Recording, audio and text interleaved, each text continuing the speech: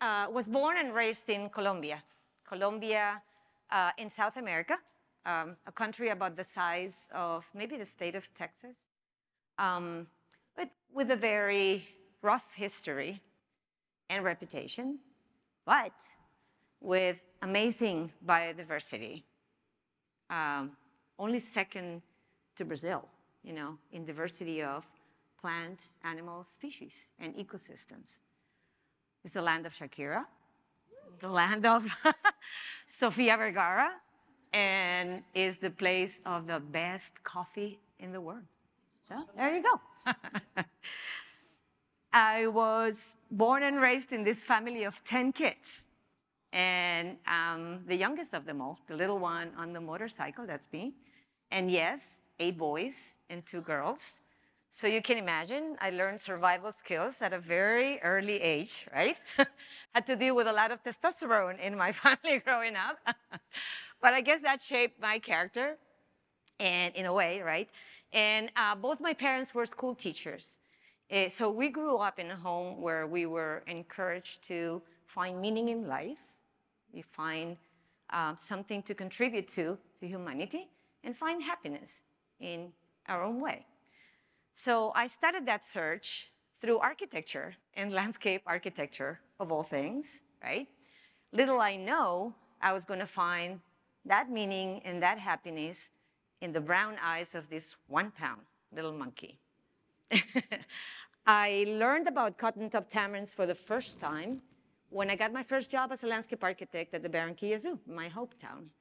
And uh, never heard of it, you know, it's a one pound monkey. Um, and every time I had to design an exhibit while I was the landscape architect of the zoo, I had to do a lot of research on the species that I was going to design this exhibit for. So when I started looking into, you know, cotton top tamarins, which I've never heard of, um, one of the things that I struck me really hard is that they were only found in that little red dot in our big planet. It's the country of Colombia, that's it. Nowhere else in the world. And not even in the whole country, but just in that little black spot in the north region of our country. So I was like, wow, how did I not know anything about this while I was growing up in the school or anywhere? And then I learned they live in the beautiful ecosystem called, can you hit play on that, please? Yes, no, well, yeah, thank you. In the beautiful ecosystem called the tropical dry forest. And it's dry forest because six months out of the year you get no rain at all. Um, and I had a lot of fun learning how similar they are to us humans because they live in family groups like we do. So mom, dad, and babies. Babies uh, learn everything from their parents, just like we do. And when they grow, you know, to be teenagers or juveniles, they either leave home or they get kicked out of the house, just like it happens with us as well, right?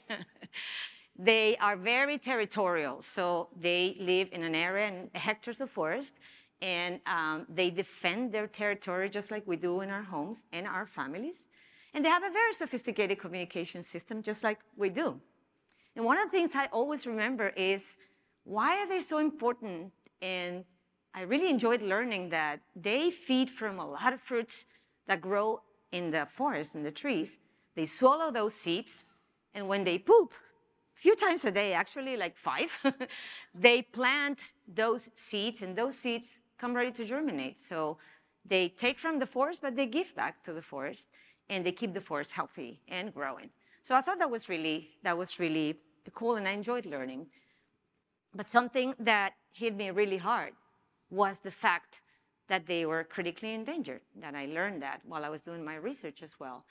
And it's mostly because of habitat loss generated by giving way to cattle ranching, agriculture, and more recently, mining and urban development. So their forest uh, is down to less than 8% of what there used to be in, you know, four or five decades um, ago. And it's not only deforestation, but something we call fragmentation, which is when you open up a tract of forest you isolate forest areas, then for a, uh, uh, a species that always hangs up, up in the trees, 30 to 40 feet above the ground, never comes down to the ground because it gets eaten by a boa snake or a raptor bird or a small mammal, which are their natural predators. Um, this is a huge problem. And it can also affect their genetic viability in the long term because it's like staying in an island for too long and then you don't get to find resources or to maintain your species.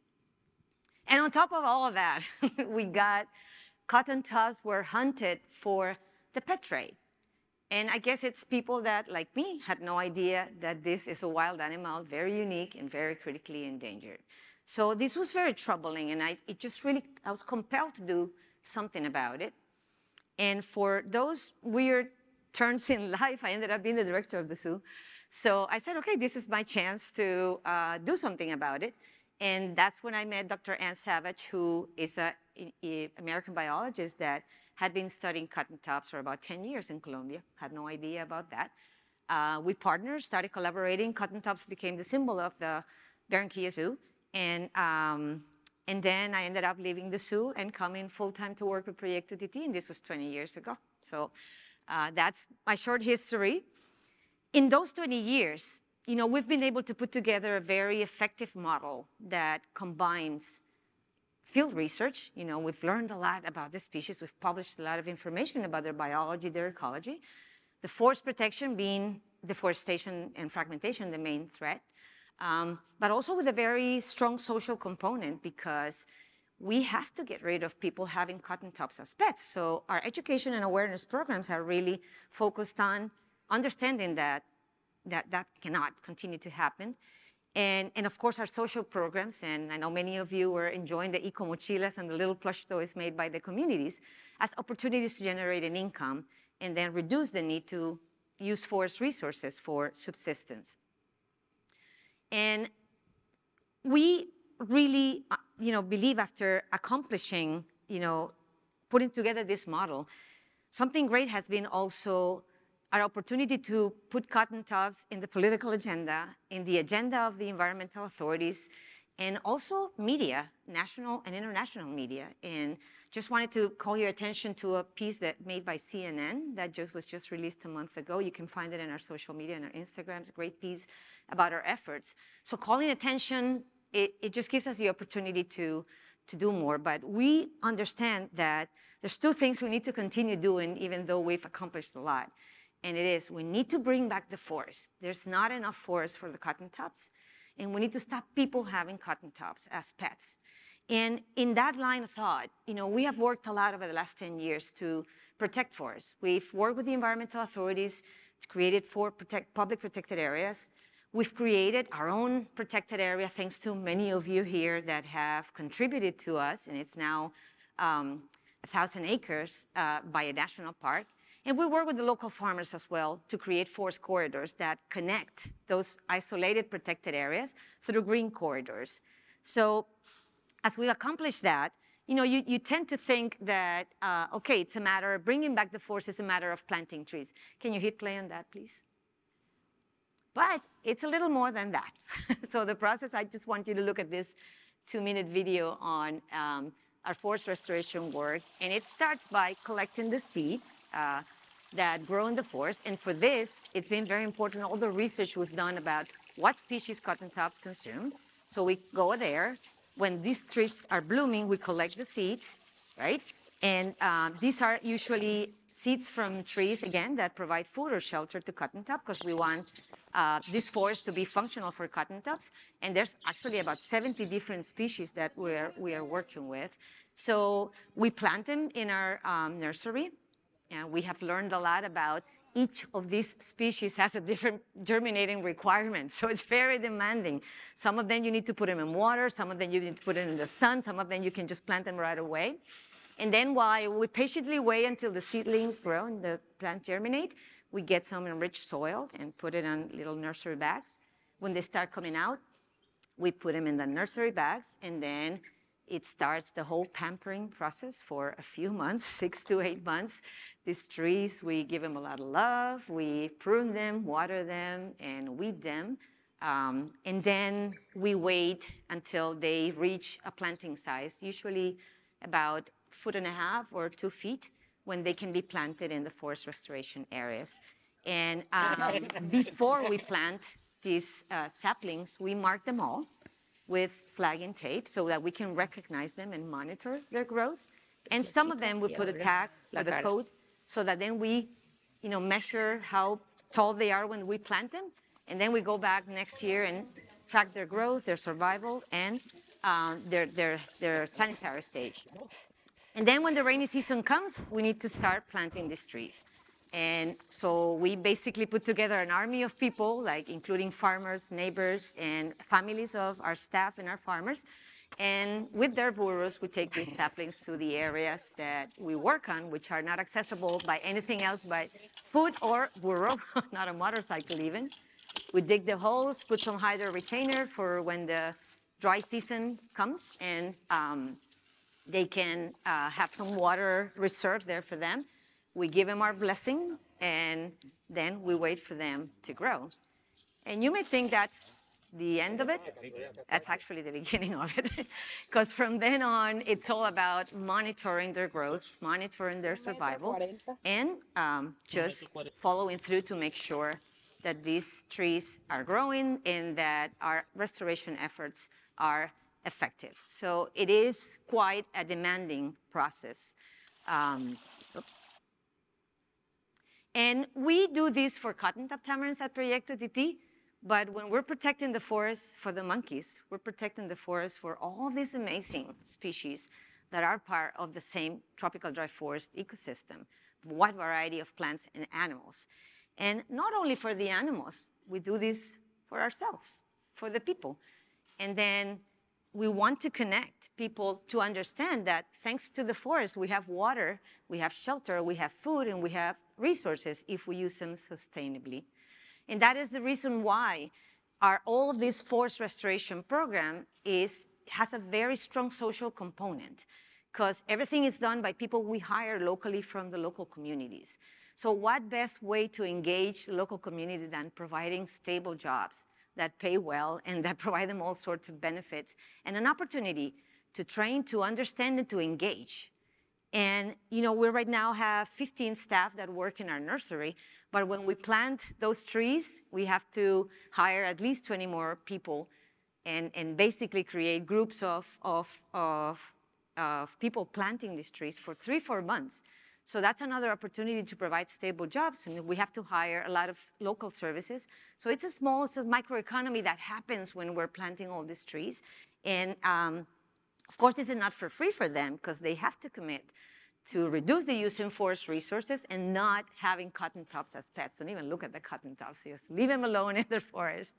Um, and of course, you know, when you see a benefit, when you see a tangible benefit, an income, a job, a stability, then you commit to that. So it is very important that all this restoration program has a very strong social component, not only for the people that work with us or that we hire for the planting, but also for their families.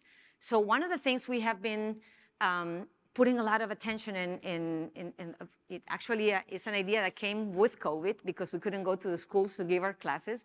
So we came up with this puppet show that tells a story about how tough it is for a cotton top to be taken out of their family, to be taken out of their home and taken into a very strange environment where they don't have trees, where they don't have their food, their fruits, and we don't have their family.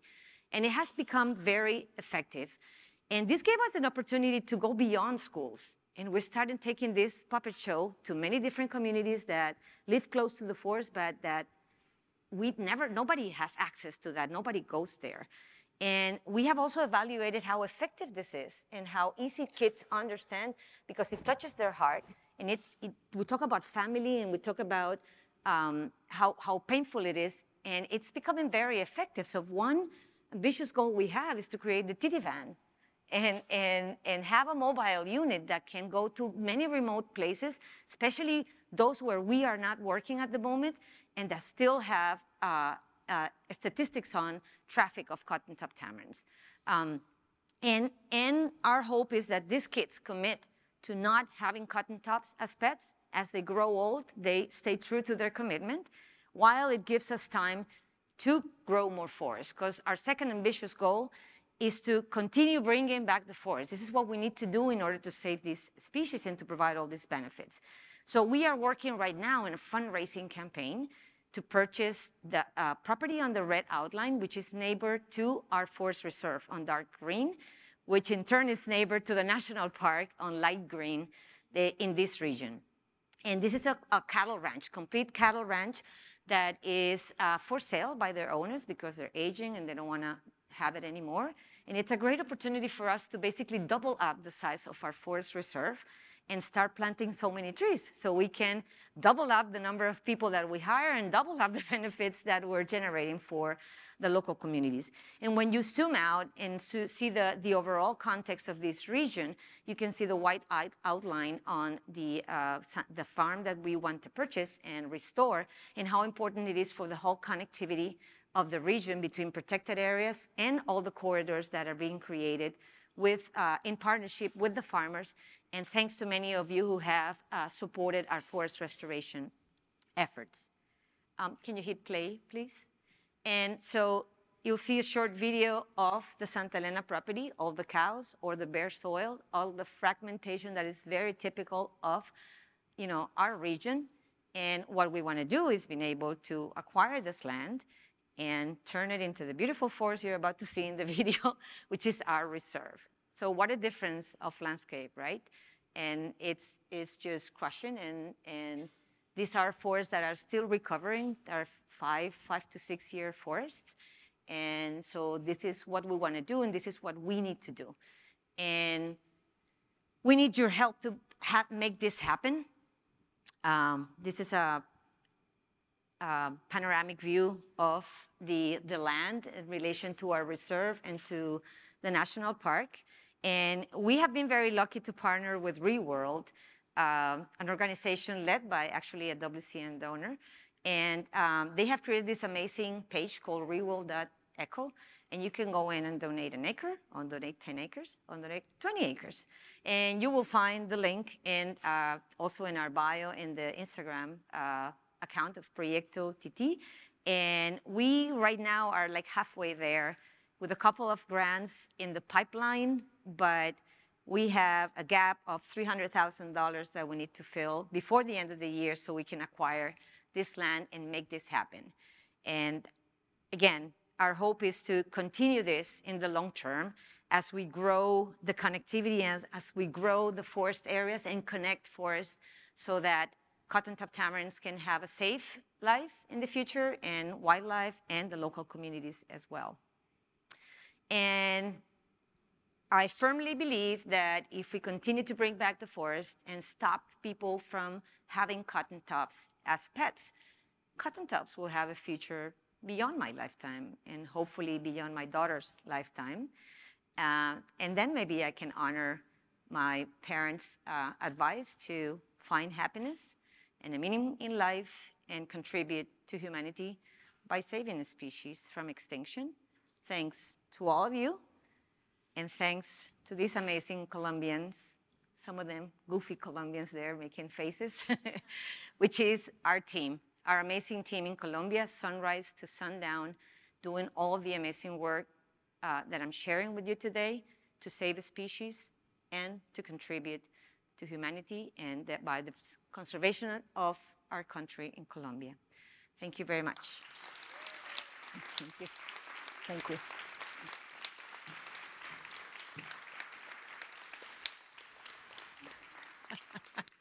That was amazing. Right. Um, Thank you, Zoe.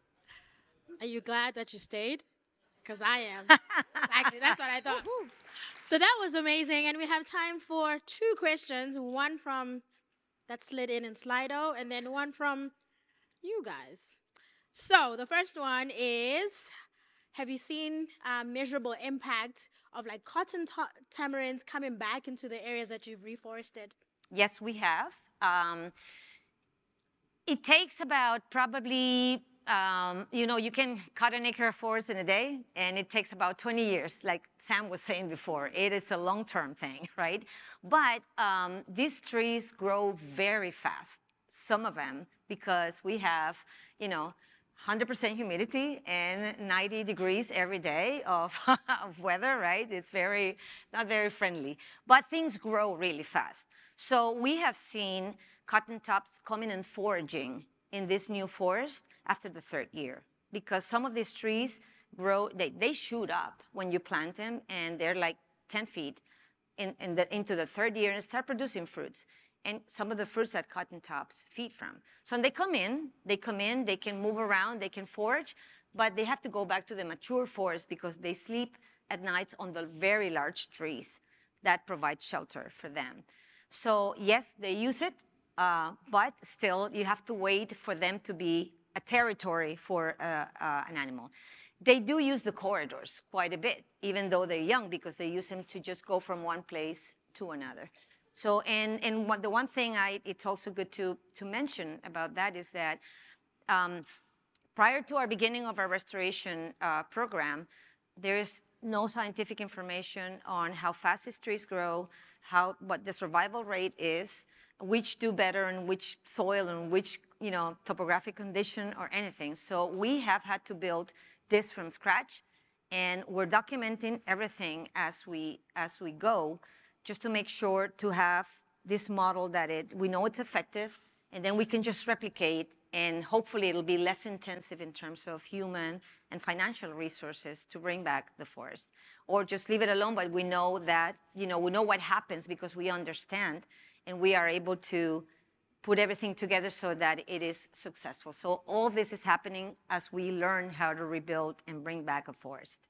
Perfect. We have one last question from the floor. Thank you for your presentation. That was really wonderful to listen to. My question is, um, as you're doing these studies on the restored forest, are you noticing any significant differences in the ecological function of the restored forest versus the original forest? Yes, we are documenting as we go, and we are uh, doing wildlife surveys every five years. We, we did the first one, we're gonna continue measuring, but we're putting camera traps. Um, and every twice a year in same points to measure, you know, what we see. Um, and our team of field assistants, they have patrolling routes and they document everything they see. So we've been doing this for the last three years. So our hope is that over time, we can see a difference not only in um, wildlife and the presence of wildlife in the reserve, but also the reducing of the threats as we involve more people. Because the threats may be I mean, we haven't gotten reports of people hunting cotton tops, but there are other things they hunt in this forest. They hunt armadillos, deer, and uh, um, uh, sainos, uh, the little, the little capybara kind of kind of animals.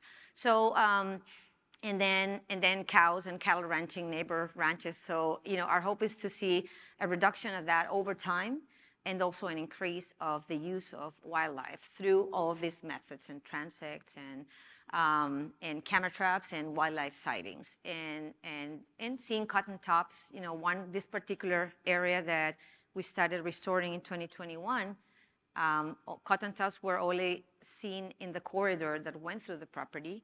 And since it's all growing now, they have a territory now. And they were tracking one of them. We put transmitters and track them to understand how far they go and how much they move.